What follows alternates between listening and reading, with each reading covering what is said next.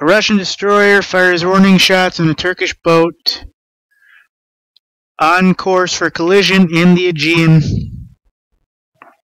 This is coming out of RT. This just shows you how much of a shooting war is about to begin, folks. A Russian destroyer had to open warning shots on a Turkish vessel sailing on a collision course towards them and didn't respond to calls from the warship, the Russian Defense Ministry reported.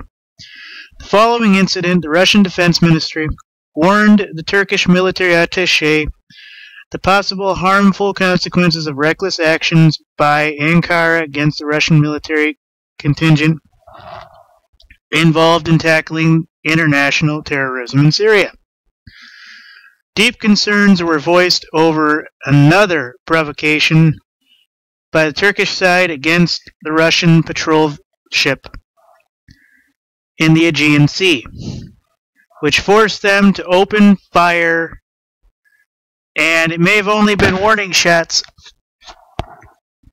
but still, it was in order to avoid a collision with the Turkish vessel, the ministry said in a statement. So, I'll ask you guys this once. How crazy do you have to be to have a potential enemy vessel on a collision course with its radio either silent or running and them coming straight at you with a collision course. Now, I've had this happen at sea once. Well, not technically at sea because it wasn't in the ocean, but basically the situation was I was on a uh, uh, ferry to go to an island, and there was actually a freighter. Well, it came down almost to the moment before about, I'd say about a quarter mile between us, which you, you think is a lot, but when you think about the ships moving and the current and everything, really isn't. And basically, the freighter was coming through one way or another, folks. And the ferry was huge. I mean, it was, I'd say 500 feet plus, whatever the normal, you know, length and height and everything. So, you know, for these two ships to almost collide, one of them had to be acting a bit off that day. So I've been in a similar situation, and yes, if the if the ship I had been on had collided, we were told we needed to jump from the ship.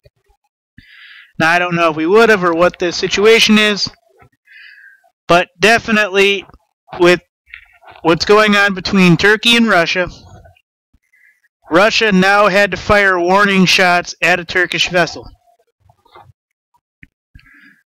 Now, I don't know my Geneva laws quite so well, but I would say any active shot downrange as a warning for a collision, for defense purposes, would be pretty much up there with an active war, but like, uh, you know, like the Russian and Turkish defense minister said it's provocation. It isn't an act of war. If they would have sunk it, it would have been act of war. So I don't know how far NATO and the U.S. is going to allow this thing to go. But folks, when you have to fire warning shots at another vessel, even inside the Aegean, which I've never been to, there is a problem.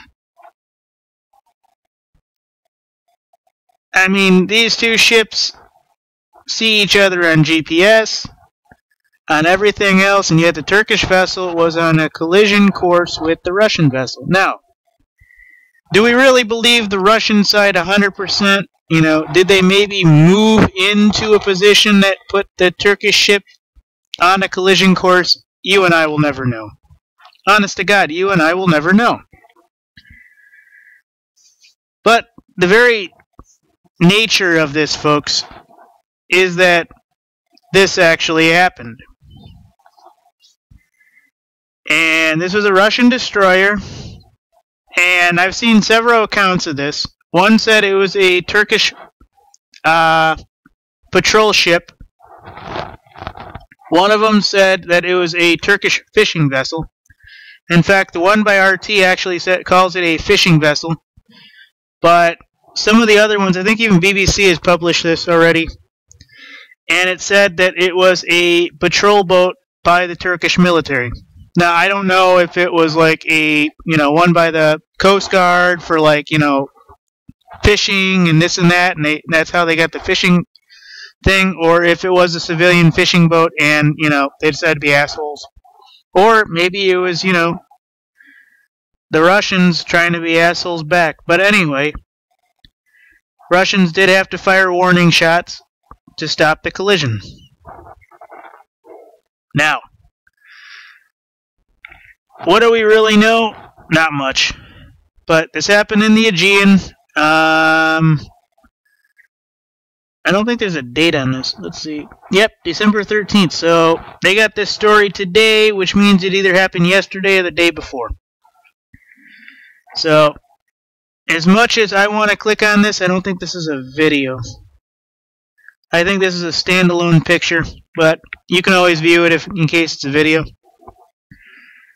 Now, we can believe whatever we want as far as whether or not it's a fishing vessel, a patrol vessel, an undercover vessel of the Turkish military, whatever story you want to say is fine because that's not even the point I'm trying to logically produce here. The point I'm trying to logically produce here, folks, is that this was in the Aegean Sea, 12 nautical miles from the Greek island of uh, Lemnos. And 12 nautical miles, folks, off of anything is still well within reach for anyone, you know, to do any kind of maneuvering to avoid collision. Um, this story here is trying to say the crew of the uh, what they're calling was the Kreshning class destroyer uh, Smetlivy spotted the quote-unquote fishing trawler some 1,000 meters from the Russian warship early on Sunday morning. Ministry said the ship was sailing toward the destroyer and ignored radio calls, contacts, and attempts to communicate. So, your guess is as good as mine as to what one was and what one what was and what was not going on. But basically, folks, this is the idea here.